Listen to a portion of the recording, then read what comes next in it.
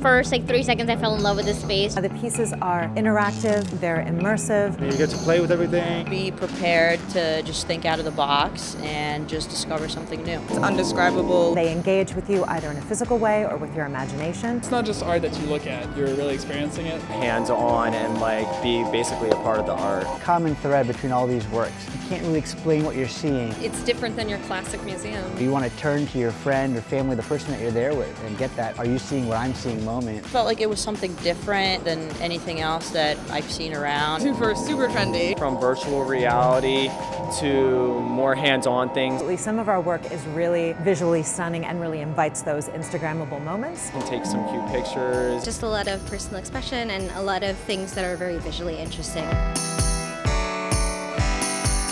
Wonderspaces is a 24,000 square foot arts venue where we showcase 14 installations from around the world. Cool, very unique experience. I haven't seen something like this. They are experiencing world-class artwork. Art sometimes is a little standoffish and when you can interact with it, a little more intriguing. A lot of the pieces are participatory. Some pieces are meant to be more visual and engage more with your imagination.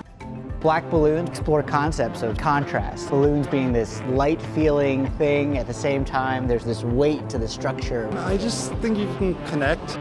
Submergence, there are over 8,000 LED lights. I thought it was incredible. You can touch the strings with waves of color washing around you.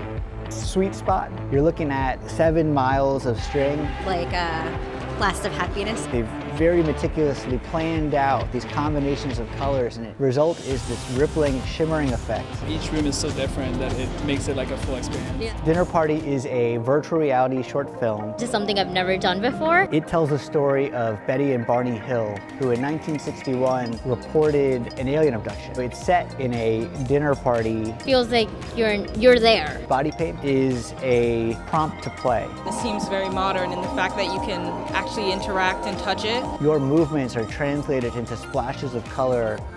The last word, the prompt is, what is a message that you held back on? It's a nice way for people to connect even though you don't necessarily know who you're connecting with. Oh, you can read everyone else's and they can read yours. And it was so beautiful, like I couldn't even describe it. Sun, you walk into it and as you pick up this ball, you recognize that you're controlling the movement of the, the sunrise and the sunset, flipping of the dynamic of control.